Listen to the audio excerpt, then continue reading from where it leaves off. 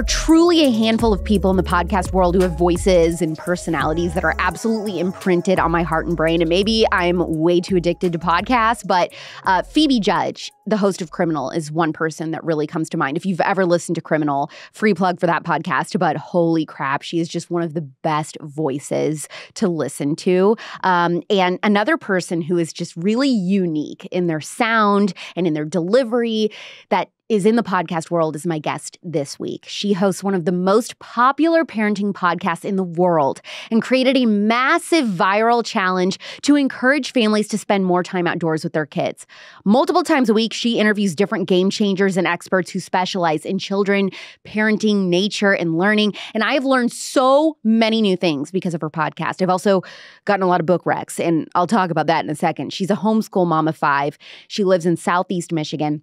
And she has really changed the lives of hundreds of thousands of families with her fun and countercultural initiative to prioritize nature over screens.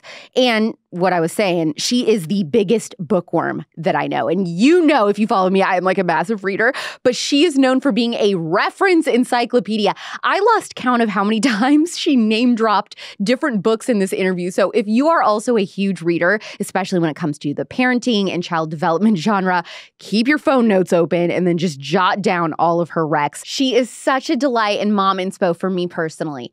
Please welcome Ginny Yurich, the founder of A Thousand Hours Outside, to the spillover.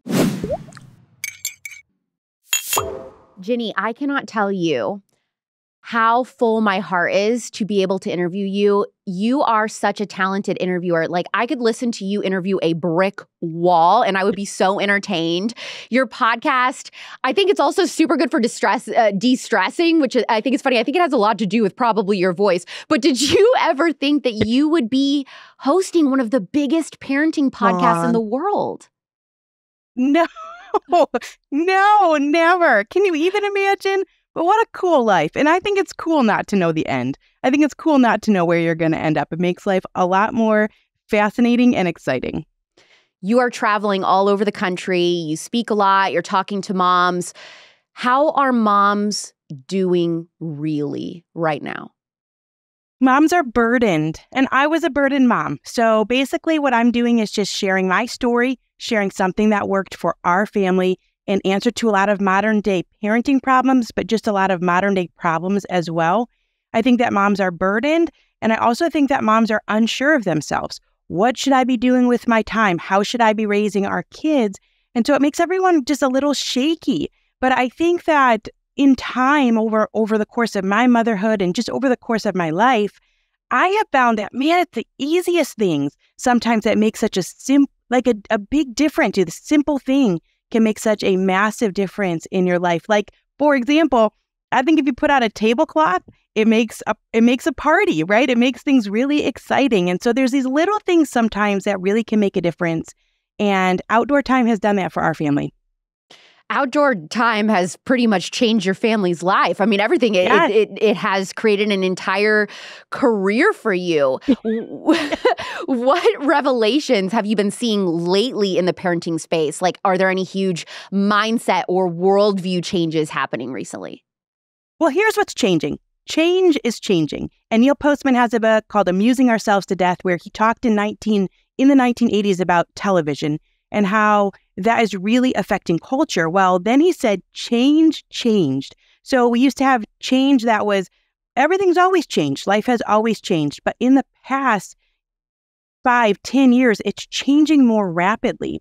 And so all of a sudden, we're in a position where we have to decide how are we going to raise our children? How are we going to prepare them for a rapidly changing world? Now, here I sit, right, Alex, with a podcast. Well, let me tell you, I was a math major. And I taught high school math. That was my career. I taught piano lessons. I taught swim lessons. And now I sit talking to you. Our lives have these paths that weave and they and they twist and they turn. And in decades prior, people would have a career for 30 years. That's no longer the case. And so I think a lot of parents are trying to figure out how do I adjust and prepare my kids for this type of world. Now, this type of world is exciting. How exciting to have a podcast. How exciting to get to connect with you in Arizona, all the way across the country.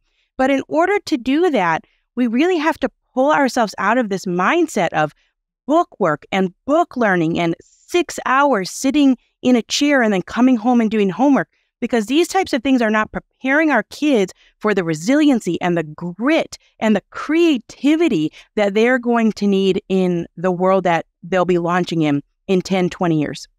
Why is it so important for parents to encourage their kids to play outside, rain or shine, hot or cold, for at least 1,000 hours a year?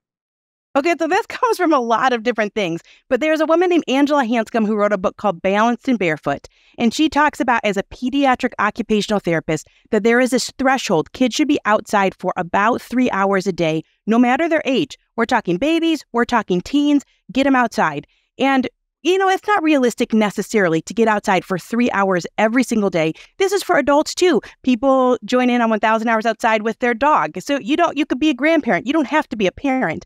But getting outside is helping our kids and it's helping us in the whole sense of our being. So, what happens when we go outside is that we engage in complex movements, and complex movements enhance our brain function. So, part of what's going on is cognition. We're helping our cognition through all these sensory experiences. When we go outside, we're helping our emotions. We're finding respite. You know, when you go outside and you can just ah, let it all go. And we're in a world that's tricky. A lot of times we're dealing with fear, we're dealing with uncertainty, we're dealing with this rapid change and how do we adjust? So that's going on. So we need something to ground us emotionally. It helps with social skills. Kim John Payne wrote a book called Simplicity Parenting. He says the primary predictor of success and happiness in life, which is a huge statement, Alex, right? Like, I want to know what is the primary predictor of success and happiness in life. He says it's our ability to get along with others. And so when we spend time outside, a lot of times it's in a multi age environment and we're learning those social skills. Physically, I mean, there is a list as long as I don't even know. You know, when, when boys go outside and the sun hits their chest and back, it increases their testosterone. When we go outside, it lets our eyes relax. And so it helps with myopia, our joints, and our lymphatic system. So our serotonin, our mood. So much is going on when we step outside physically. If parents are interested in spiritual growth, well, hey, the outdoors is a a, a physical a physical example of spiritual principles. We're talking about growth. We're talking about seeds in soil, all of these different things. And so when we take the time to step outside, and it doesn't have to be anything that is monumental. This is a walk around your neighborhood block. This is sitting on your porch for a meal. It's helping all of us in every facet of our development our cognition, our emotions, our physical bodies, our social skills, and also our spiritual selves as well. Would you agree that many families treat time in nature as a luxury instead of a necessity? Yeah, I think they think it's frivolous. And and that's what I thought too. Let me tell you what, that's I do not come from a place of history where I was this pro outside person, get outside. What what actually happened was that Alex, I was struggling. I was struggling as a mother and we had these kids and I felt like, you know, my whole childhood and you enter into adulthood and you tend to do what you're good at. Every time I run out of my hydrating retinol moisturizer from Nimi Skincare, I can always tell my pores are just more clogged. I can literally feel the texture change in my skin. And faith, family, freedom, and femininity are at the core of everything Nimi Skincare does. Like their values are amazing. So it says a lot that their products are even better. And you can get an entire three step skincare routine for under $100 right now with code Alex Clark. And I always recommend the Daily Glow Up routine. That's what it's called on their website. Those three products under the Daily Glow Up routine. You'll get the Hydrating Daily Cleanser and Toner, Hydrating Toner, Hydrating Cleanser to help brighten your skin complexion, add that extra hydration if you're dry like me. And then you've got the Retinol Lifting Moisturizer Cream, which will leave your skin feeling so refreshed and so smooth. And Nimi Skincare, it's paraben free, it's cruelty free, and it's handmade in the USA. We love to see that. You're going to see a noticeably more radiant complexion, visibly reduced fine lines and wrinkles thanks to that retinol. And by the way, speaking of the retinol, retinol in products like this moisturizer, I notice for me, it really helps clear up any small breakouts that I get to. I've never had like major acne problems, but I definitely get clogged pores and around certain times of the month I can I can see, you know, I can see a little bit of breakout stuff going on. The daily glow up routine from Nimi is also great for producing collagen. Now, here's a big deal. Every year we lose 1% of our collagen as we age in our face. That is a significant difference. It's it's I would say besides fine lines and wrinkles, your loss of collagen is going to show age uh, more than anything else. And thanks to the resurfacing that you're going to get with Nimi's retinol moisturizer, your skin is going to feel so much smoother in texture, just like mine does. Try Nimi Skincare with 10% off your order by using code Alex Clark at NimiSkincare.com today. That's NimiSkincare.com with code Alex Clark for 10% off or click the link in the description. Nimi Skincare, modern skincare with timeless values. What was the struggle? Like, did you feel like you were just having a hard time connecting with your kids or what was going on? Well, I was failing. I was failing constantly. So I, I, exited a world where, you know, I'm, I'm an administrator for this and I've done all of these things that I was really good at. I was accomplished at. I have these degrees. And then three days later, you know, here's my baby. And I, I mean, I failed even in my birth plan. So right from the beginning. And then he was crying and I didn't know what to do with him. And and then we had a couple more surprise. and I've got these kids that are three under three. And I mean, every day I felt like a failure. Dawn to dusk, through the night, it never ended.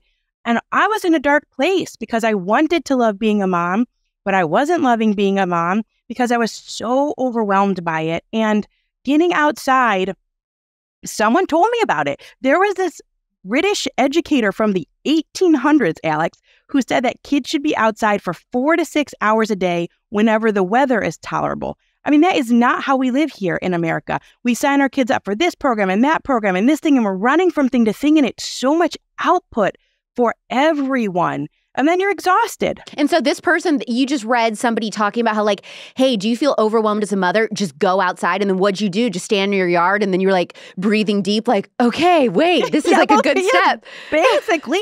well, this is what happened. So Charlotte Mason is sort of this person that this guru that a lot of homeschoolers go to. She's got these six volumes of work I've actually only read one of the six. And I was told about her by a friend, and the friend didn't tell me that Charlotte Mason was from the 1800s, or I would have written it off. I didn't know. I mean, so why are we listening to someone from the 1800s?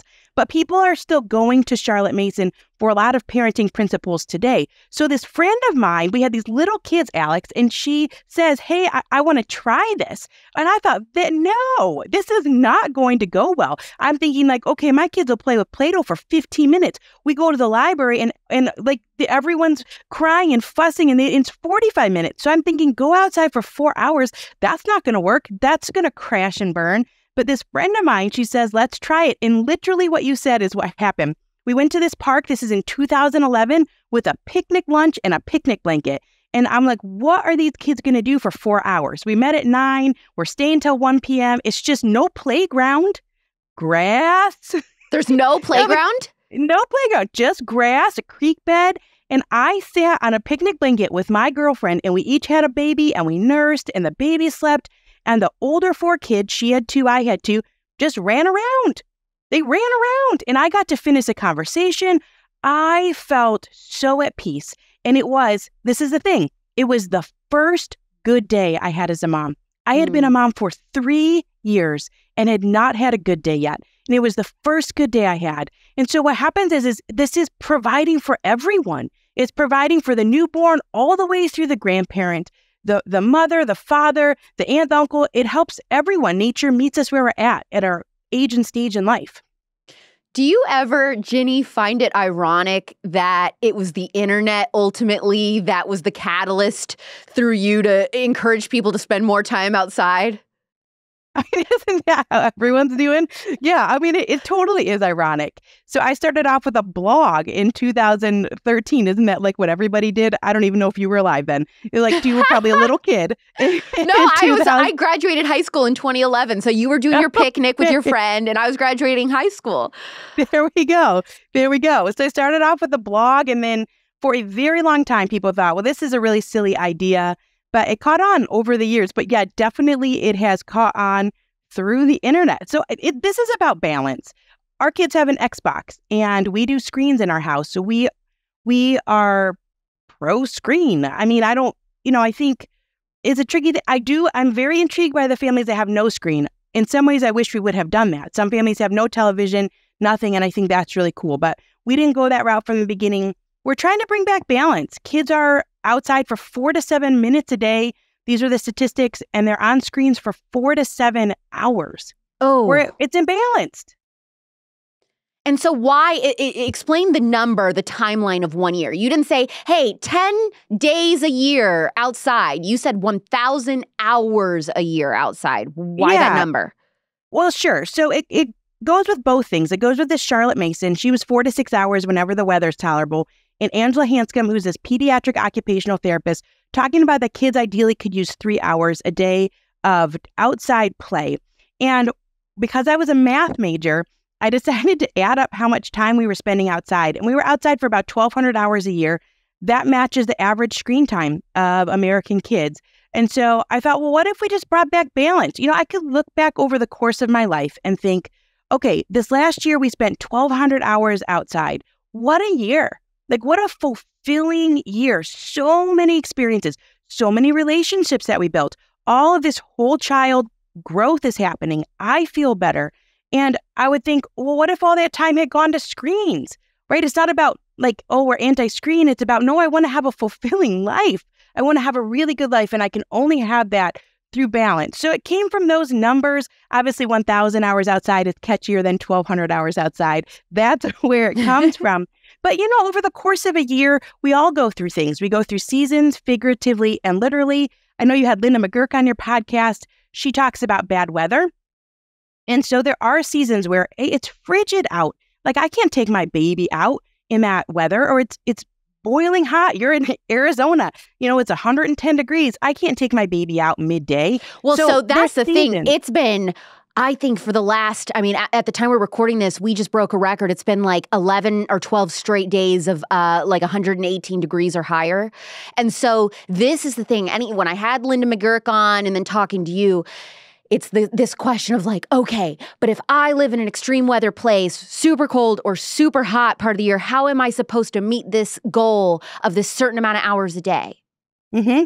Well, and that's why we have a year long goal and not a daily goal. So that kind of answers your question, which is like, hey, look, you just had a baby. So you're going to be resting for a little bit, or you just had a surgery, or you're helping an ailing parent, or, or you're, you're just, you're in grief. Like you, maybe you had a miscarriage or something is going on in your life where you're grieving, you have a big work deadline. I mean, we all have these things that are in flux in our life. So, our goal as a family is to get outside and to balance that nature time with screen time over the course of a year.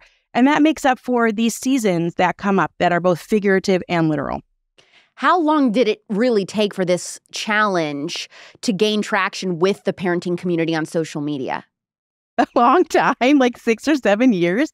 But, you know, it's really about us just sharing our life. Like this worked for us and it has continued to work for us. And I think one of the tricky things about being in this stage of life where you're you're done with college, you enter the workforce, you become a parent, there's so much change. And as your babies grow, you constantly are figuring it out and then they change and it's change and it's that's constant and that's hard. But nature always works. And so it worked when I first started writing in 2013 and had little kids. And now I have teenagers, and nature still works. We just went on this incredible trip. I went with my 13 year old daughter, five days rafting down the Green River in Utah in Moab. Uh, what an experience. So it's like I used to carry her on my back while she cried and I was passing her suckers, and now we're rappelling off cliffs together. So it's neat to find something, and this will work till I'm a grandparent this will won't ever not be a solution for a fulfilling life. Yeah. And so that's part of the reason I really love it. I had no idea that it had been 10 years, over 10 years since you started this. I had no idea. I thought this was a new thing because I came across this during the pandemic. Did you notice a huge explosion during the pandemic for this whole there was movement? Definitely, uh, yes, there was definitely growth during the pandemic because it gave people something to do and something to look forward to and something to strive for. That's for sure. When your family started really prioritizing outside time in such a dramatic or drastic way, what changes did you start to notice in your kids right away? Immediately, here are the things eating better, sleeping better, getting along better, and not getting sick. And I will tell you, since 2011, now this is a big statement, Alex, I have five kids. Since 2011, we have not needed a doctor's appointment. You are joking. Ever? That's like 50 years of life. No, not since 2011. Our kids were getting sick before then, going in for different things, this, that, or the other, nothing. And you've got like a 100 kids. Yeah, I got five kids. And and what happens when they go outside is like it's moving their lymphatic system. It's that vitamin D. There is so much happening when we step outside. And so definitely their health. But what I learned and what I couldn't have known, what I learned is that when kids engage in complex movements outside, so they start to toddle, they're working on varied environments outside. It's not flat like your carpeted living room. They're climbing trees, they're climbing over fences all of these complex movements lay this neural network down in their brain and the myelination increases and their brains work better. So there's this book by Dr. Carla Hannaford called Smart Moves Why Learning is Not All in Your Head. She's also a pediatric occupational therapist. And she has this statistic in there that says elderly people who dance regularly have a 76% less chance of developing dementia. 76% less chance of developing dementia. I want that. And it's because the dancing is complex movement. Like movement affects our brains. And so that's what I couldn't have known back when our kids were young. And, and that's nothing that you can really measure. But I have learned since then that that's what's going on on the inside there. That when they're rolling, when they're roughhousing, all of this is contributing to their development. I thought this was really funny, Ginny. I, I told someone recently about your challenge. I said, Oh, I'm going to be talking to this woman. She created this 1,000 hours outside challenge for, for a year. And they were like, Okay, I'm on board. But what do you do outside? Like, what do you do? So, Ginny, there are people who are like a deer in the headlights when you tell them, hey, you need to start spending more time in nature. Where should the true couch potato start if they want to attempt this challenge? All right. The true couch potato should call up a friend and get some good snacks and go on a hike. That's what the couch potato should do because once you're out on a hike, you are stuck. And I think that's a great way to start. You there no one's coming to airlift you out. You got to make it to the end and you're there together. If you have young kids, call up a friend. Same thing. Go with a friend. It's safer. You're going to have that community. Your kids are going to have other kids to play with. It really makes a difference. Bring some good snacks and find a place where you can do a half mile hike a one mile hike. If you've got little kids, they're going to get distracted by all of the surroundings and you're going to see how nature engages them. And you, I mean, sometimes we take a two mile hike with our little kids, it takes the full day. The whole day. Because they want to stop Saturday. and look and pick up rocks. Yes. And play. Yeah. And do all of those different things. That's where I think you should start is is that type of thing. But you can really do anything. Why don't you start with taking your breakfast outside? Because when you go outside in the morning, the sunlight goes through your eyes right to your brain, and your brain releases serotonin. That makes you feel good. So we should be getting outside in the morning. And then the serotonin, it turns into melatonin at night. What a thing. So you could have happy kids in the morning and sleepy kids at night. This is what we all want, right? So take your take your meals outside, take your schoolwork outside, take your book outside, take your board games outside. All of these simple things really matter we're getting exposed to that full spectrum of sunlight, and it does so much for our mental health and our physical health. What does the concept of a slow childhood mean to you? It means giving kids the time to learn who they are. We have to have that time. I wrote a blog post a long, long time ago that said we're stealing time from children. And I think we're doing it out of a place of of a good intentions. We really want to give them every opportunity. But what they need is they need time to be able to dig into themselves and figure out what to do with their boredom. They need to figure out what it is in the world that makes them excited. And all the kids are different. We got one kid that's interested in guitar and one kid that's interested in basketball. They just have these different interests and they wax and they wane and they change. But we are co opting childhood. We have taken almost all of it. And we certainly have taken the best parts of it. We have taken the eight to four when our oldest son was getting ready for school, school age. He was five. Now we homeschool. But our reason, our initial reason to homeschool was because the bus showed up at eight in the morning and it didn't come back till 4:45 in the afternoon. Age five. that is the best part of childhood right there. That day, and they come home and they're exhausted and they have dinner, and now they're giving these kids homework and they go to bed and they get very short recess times. I worked in the schools and I saw that all of this time it wasn't going for enrichment, it was going for academics, and they do not need it at those ages. In fact, in fact, John Taylor Gatto wrote a book called Dumbing Us Down. It's a good title. He was a public school edu- educator, and he says in his book that that book and other books that at the right age and stage, it only takes kids 50 hours to learn functional literacy. So, like, they could learn to read, write, and do math so that they could learn anything else they ever wanted to learn. 50 hours. And yet, we're taking thousands of hours out of our kids' childhood for just academics. That's it. What about the rest of them?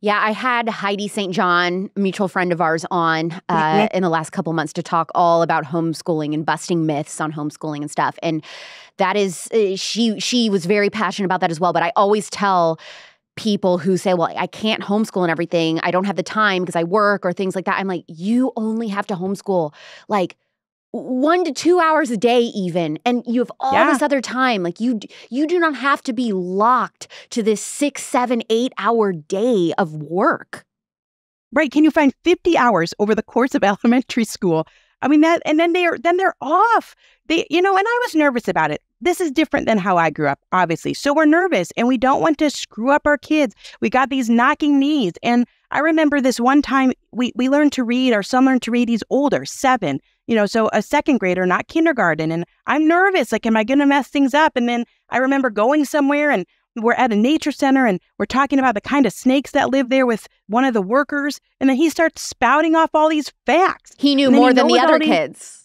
Yes. And he's, and I'm like, I don't know any of that stuff. And he knew it because he said he read it. And I thought, well, this is the point is that there are millions of things of value to study, and we can give our kids more time than they're currently getting. That's a slow childhood.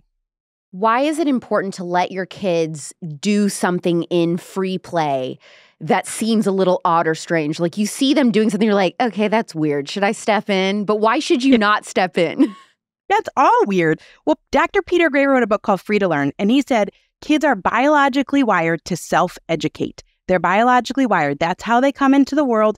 They're here to educate themselves. And so the things that they do have a purpose. They are worthy. The kid is trying to learn something, and we don't know what that is. And that's scary. There's this quote by John Holt, who was a homeschooling kind of guru.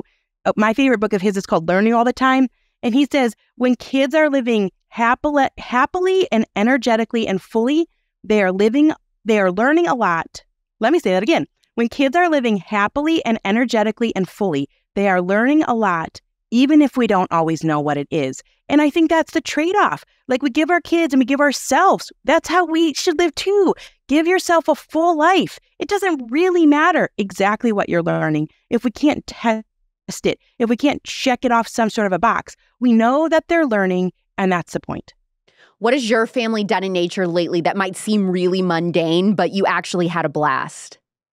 It's all mundane for the most part. So we walk fairly regularly across the street, across there's this neighborhood that we walk in. It is so boring. It is flat. It's a one mile. So we're trying to hit a certain mileage goal this year. I'm way behind my kids. They're way ahead of me. But we walk and then sometimes we see bunnies and one tree has mulberries, and that's it.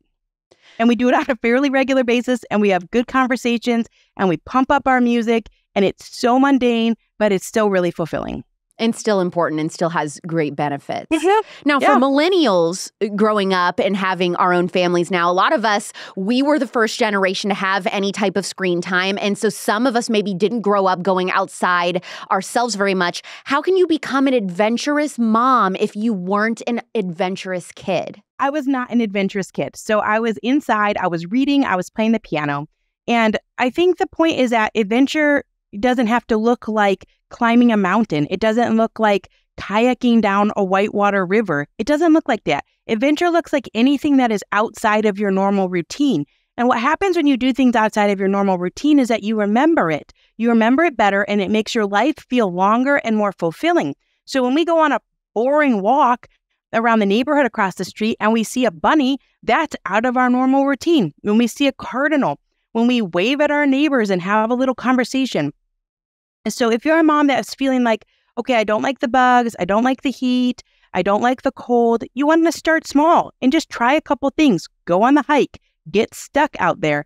And what you'll start to do is you'll start to build up some grit. You'll start to build up some resilience for it. I mean, this nature is unpredictable. The rest of our life is fairly predictable. And we want to be in these situations that are a little uncomfortable. They help us to grow as people. Michael Easter's got a great book about that called The Comfort Crisis. So if going outside and taking a walk in the in the nearby forest is adventurous to you, that's an adventure. And so you start there and you grow. Is the 1000 hours outside challenge something a family can start no matter how old their kids are? Absolutely. Yes, it's and you can do it even if you don't have a family or even if your kids are grown and now you're a grandparent and your dog can be a 1000 hours outside dog. I mean, it really does not matter. Nature is for everyone from the newborn all the way up through end of life. How does a parent leave their kids with a legacy of connection to creation?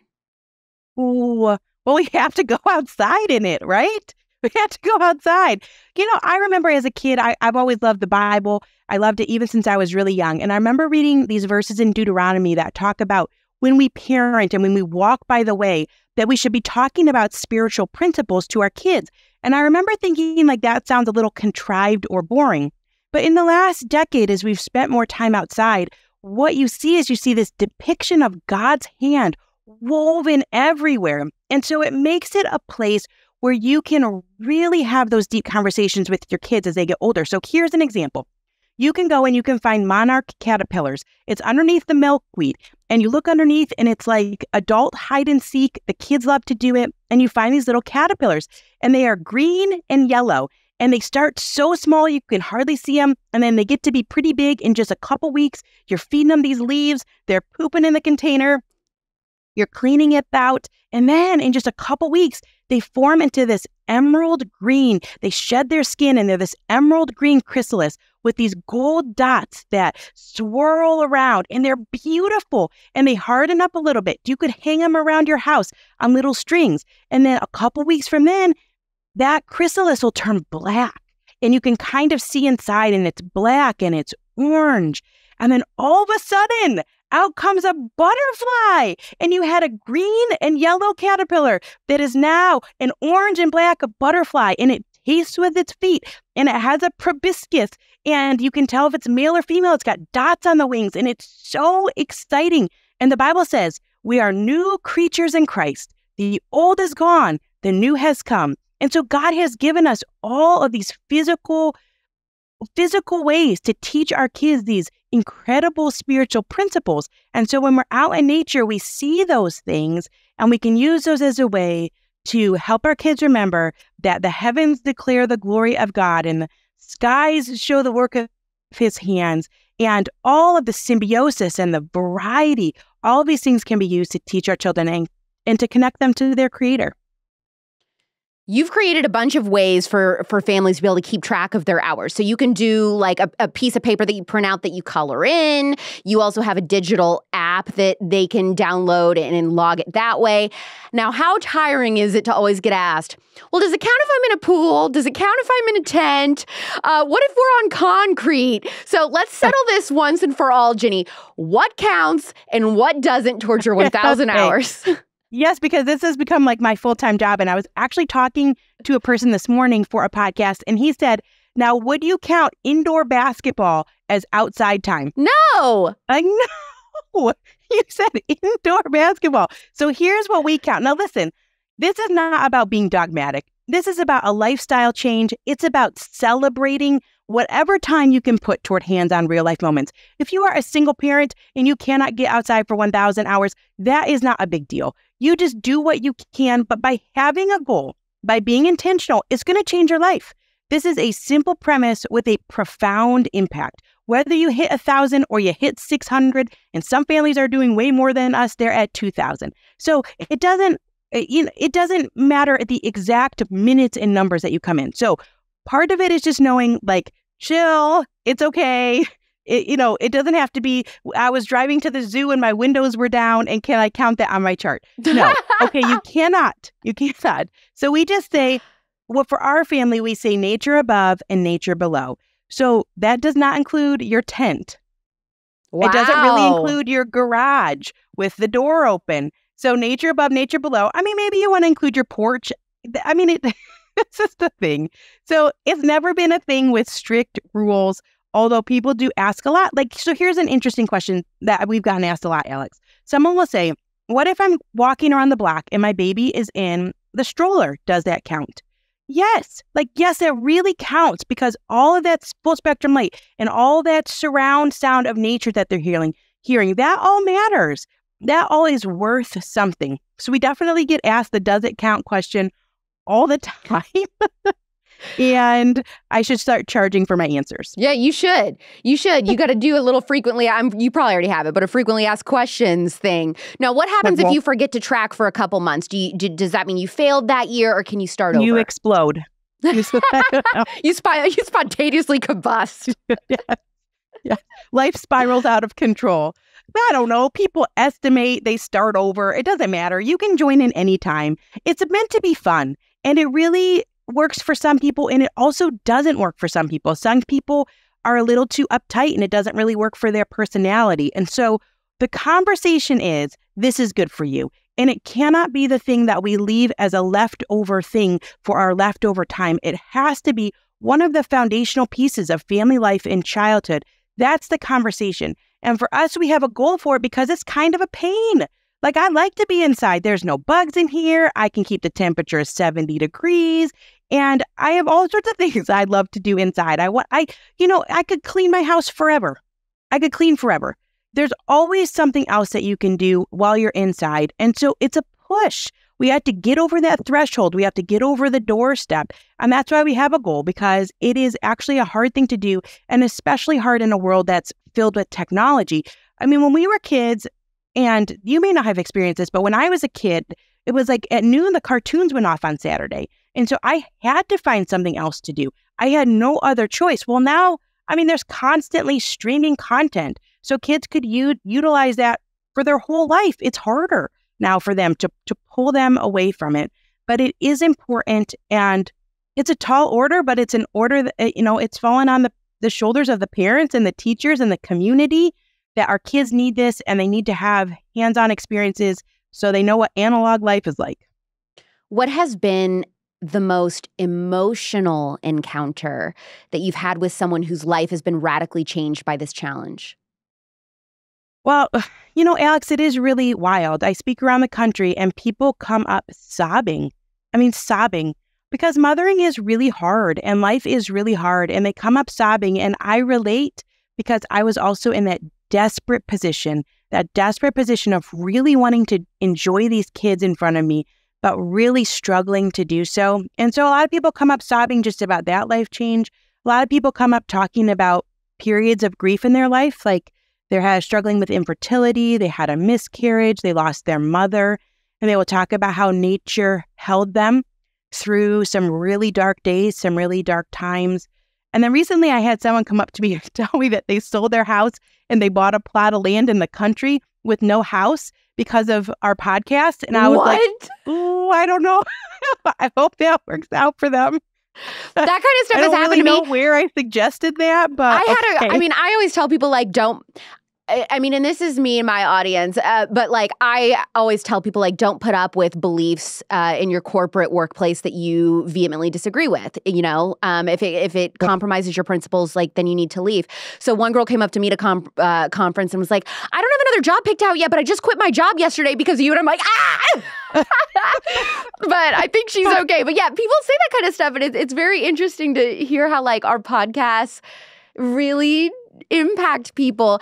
And um, I mean, so that's this movement you've created, but you also have this podcast where you interview all of these experts and pioneers in the parenting space. And I tell everyone that your podcast is one of my favorites of all time um, because you. interview people like puppeteers and child psychologists and librarians and grief and nature experts, basically anyone whose specialty is working with children. And it was your show that I first heard the brain is designed to remember shocking things. What does that mean?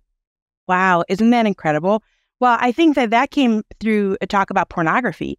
And Kristen Jensen came on and was talking about th- that's the dark side of technology. So, you know, we talk about technology, and actually, there's really interesting conversations about promise versus peril that technology has arrived and we are not as fulfilled as we thought we would be. It has not given us the better life that we thought it would give. And one of the dark sides is exposure to pornography, and that kids are getting exposed to pornography at younger and younger ages through screens and through screen media. And so that's one of the things that she says is that our brains are designed that you see that shocking image and that's going to stick with you for a lifetime. I think it also works on the positive side for awe that when you see something that is so striking and and so different from what you normally see that it tends to be something that you remember as well. But it's one of those things that reminds us that there are actual dangers when it comes to technology. And so the less time that you're around screens and the more time you're filling your life with other things, the less chances are that you may come across those types of things. I am absolutely fascinated by the parents I know who say that by changing their kids' diet and switching to no dyes, no artificial flavors, and whole foods only, they have seen a dramatic change in their kids' behavior. Since 2011, it is recorded by the National Library of Medicine and Public Record that food dyes are linked to harmful effects in children. Artificial dyes have neurotoxic chemicals that aggravate mental health problems. And so when families with autistic children avoid food dyes in their diet, a lot of them say that they see this massive decrease in behavioral issues. And studies correlate yellow dye in particular with sleep disturbance. Food colors blue 1 and 2, green 3, red 3, yellow 5 and 6, citrus red 2, and red 40. This sounds like a Dr. Seuss book, but all of those can trigger a myriad of negative behaviors in most kids. And you may not know this, but I'm a CASA volunteer with foster kids. And the little girl that's on my case currently, she has significant trauma. And so when her placement eliminated food dyes and artificial flavors and colors, they told me they were like, Alex. Well, they said, Miss Alex, the tantrums decreased dramatically. And I was able to include that in my court report for the judge for this child. Double checking the ingredients in every snack, salad dressing, and juice that we drink is equally important to how we look at controlling weight because it can be controlling your emotions. And this is why I switched to squeezed juice. That's their name squeezed juice, five flavors, 100% juice, never from concentrate, no water added, non GMO, and all natural juice, fresh, squeezed in California and shipped on dry ice straight to your door. It is so fast that if you snap your fingers, it'll be there. And if you want juice squeezed fresh in your kitchen, but you just don't have the time or the patience to do it, I get it.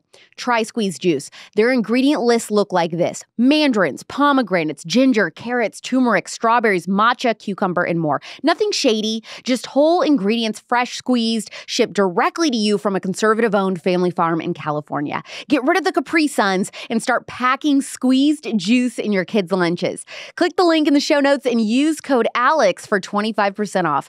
Right now, go to shop.squeezedjuice.com with code ALEX for 25% off. That's shop.squeezedjuice.com with code ALEX for 25% off. What has been your most popular episode to date? Oh, I love that question. I always ask other people that too. Uh, our most popular episode is with Kim John Payne, and the episode is called uh, The Undeclared War on Childhood. And he says we're living in the undeclared war on childhood. And what's super interesting about it, Alex, is he talks about how we're all kind of quirky. Like we all have our quirks. So some kids are really organized and, and we have these different quirks. And he says what happens is that when we have stress, our stress starts to accumulate in our amygdala. So it starts to accumulate. It's this accumulated stress. And what's happening with children is that they're not having a chance to release their stress. And so it's building and it's building. And he says it's tipping them into disorder when really they just be kind of this cute, quirky kid. And he said you can bring it back, but the way that you bring it back is you have to turn down the tap. Like you cannot be pouring so much into our kids' lives. So he talks about how during the day, kids are meant to play. And when they play, their body releases neurotoxins. That's part of what's happening when they play. It's not frivolous. It is so important for their well being. that they have downtime. It's important for our well being that we have downtime. And so his is up there. I had on Steven Rinella, who has the show Meat Eater. His is up near the top. And he talks about his book is called Outdoor Kids in an Inside World.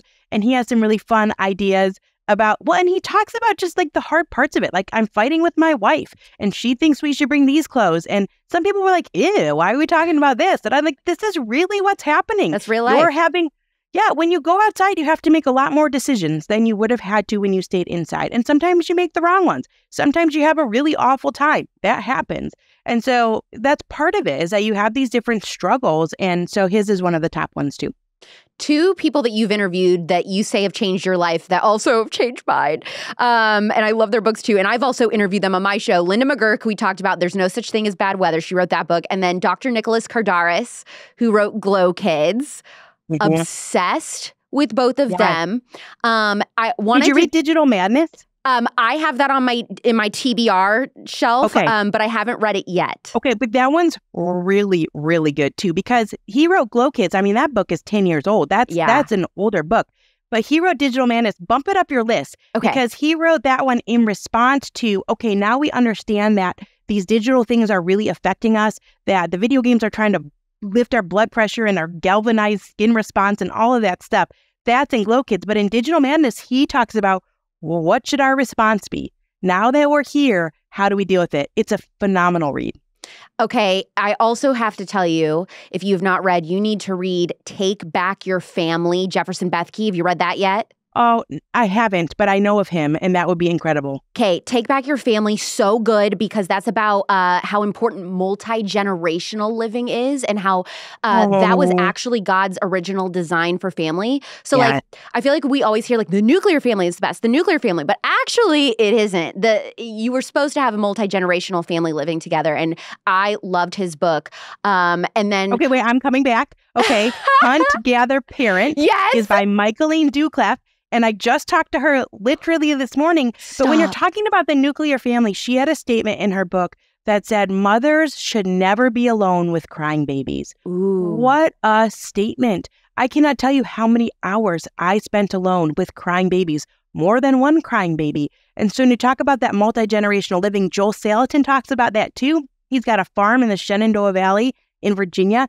And what a beautiful picture of his mother lives there. She's almost 100. He lives there. I'm not sure how old he is, but he's a grandpa. So there's four generations living there. And what a beautiful life that is. Absolutely. And then I'll, I have to tell you, just because like you're my favorite podcast, so I have to tell you why I have you. The other interview you did that is uh, not only one of my favorite interviews of yours, but I also ended up getting the book after one of my favorite parenting books is uh, Free Range Kids by Lenore oh, so Skenazy Skenazy. But oh, she's you, hilarious. Dude, so funny. and I, you said in the interview, you're like, I laughed out loud reading your book and I was laughing out loud. But I, I have to know, was she one of your co- most controversial guests you ever had? Because I have flirted with my listeners this idea of free range parenting and it's not very popular. It's so interesting. I don't know. I, nothing's really been all that controversial. So no one really said anything about it. And I think that the point of Lenore's is that kids here's the thing. Okay so lenore she writes her book. Her book is about i don't know she sent her nine-year-old on the subway. He was 10 9 or 10 okay she did that. She writes this free range kid. Well she teamed up with dr peter gray who wrote free to learn. So dr peter gray ends his book. Here's the story. He sent his kid to europe. His son wanted to go to Europe for two weeks. He was super into Dungeons and Dragons. His son came to him and said, I'll I'll work, I'll pay for the ticket, I'll figure everything out. Now, this is in the 80s, there's no internet. His son was a type 1 diabetic, so they were kind of nervous about his health, but he was so determined that the parents let him go, and he was 13. Everyone listening is gasping. 13 years old, go to 13. Europe by yourself, and you're diabetic and all this? Two weeks, no, no cell phone. They said he called home collect twice. When was this? What year? In the 80s. It happened okay. in the 80s. And he said that it was a little controversial then, but not too much. But so Ginny, like, what do you think he would say now in 2023? Do you think that he would still feel confident in 2023 letting a 13 year old gallivant across Europe alone? No, probably not. And I did actually ask him, how would you parent today if you're if you were a parent right now? And he kind of skirted around the question, yeah. to be honest. Yeah. See, that's the thing people but, say. Like, I would have done this stuff in the 80s or 90s, but I wouldn't do it now. Yeah. Well, and I think there's just, you know, there's balance. You got to find balance. So, for example, I had just read his book and just talked to him, and we were at a theme park. So, you grew up in Indiana. I'm not sure if you ever went to Cedar Point. Of course I Ohio. did. yes, over, Sandusky. Yes. So, right, uh, so over in the Midwest, and we're at Cedar Point. It's closed in, and I'm there, and on a group of teenagers, including my son, are doing their own thing. And I kept thinking, I should check in. I wonder if he's okay. I wonder if he's got food. And then I kept thinking, wait a minute, like Peter Gray sent his kid to Europe. I'm like, I can chill out. So I think sometimes those stories just allow us, at least in these smaller moments, to chill out. Like it's not that big of a deal, especially in comparison to some of these other stories. All right. So as we wrap up, you have said that your goal ultimately is that for this 1,000 hours outside movement to be obsolete. Why would you say that about such a beautiful thing that you created? The ideal is that this would just be a part of our life, right? This would just be a part of our lifestyle. And I think that it may not ever get there just because of the influence of technology, but maybe it will. And I think there are a lot of families who say, look, I kept track for a year. We took the chart, it's free online. We blew it up, we put it on our wall, our kids colored it in. And by the next year, we didn't need to do it because we had already changed our lifestyle so radically that we know we're getting the amount of outside time in that we need. And so here, so we talk about things being obsolete, when I was a kid in the 80s and 90s, no one paid attention to the time that they spent outside because kids just did it naturally. Even though I was an indoor kid, that's what I would consider myself. But we had recess. We had a couple recesses. I walked a mile to school. It was a mile home. We played baseball with my dad when he would get home from work. So we spent time outside. It was natural. It was a natural part of the childhood environment. And it's not anymore. So if we could get back to that place where it's a natural part of the child environment, then I'm going to have to change my name. yeah, you might have to. Oh, this is going to gross you out. Did you know that ground beef is the most recalled and contaminated meat sold in America? That's because it's often made up of meat coming from dozens of sources and countries and all being blended together. All you end up with is trouble and really lackluster flavored ground beef. Good Ranchers ground beef is 100% American, made from Angus cattle, and they're never given antibiotics or hormones. And that's not just better ground beef, okay? That's the best ground beef in the country. And right now, it's completely free. You can get free ground beef from Good Ranchers today for two whole years by subscribing today. That is a $480 value. Good Ranchers is the only meat company that promises to lock in your price for two years when you sign up. This is the best meat in America with zero inflation. What more could you want than that? No other meat company offers you this kind of savings on 100% American meat with a locked in price. That's because no one else is conservative owned and operated like Good Ranchers. Go to goodranchers.com slash Clark with code Clark for 25 off and $480 worth of free ground beef in your first two years. That's goodranchers.com slash Clark with code Clark for over $500 in savings and two pounds of free ground beef in every box for two years. Find the link in the show notes, ditch the meat aisle, and subscribe to Good Ranchers. American meat delivered. I mentioned earlier that there are people that are overwhelmed with this idea of going outside because they don't know what they could do. But the good thing is, is that you wrote an entire book with ideas of what to do outside. So tell us about your book and then um, your podcast and how often you release new episodes.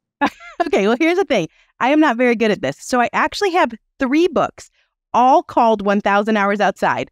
And they're all different. They're all different. Whoops. Whoops.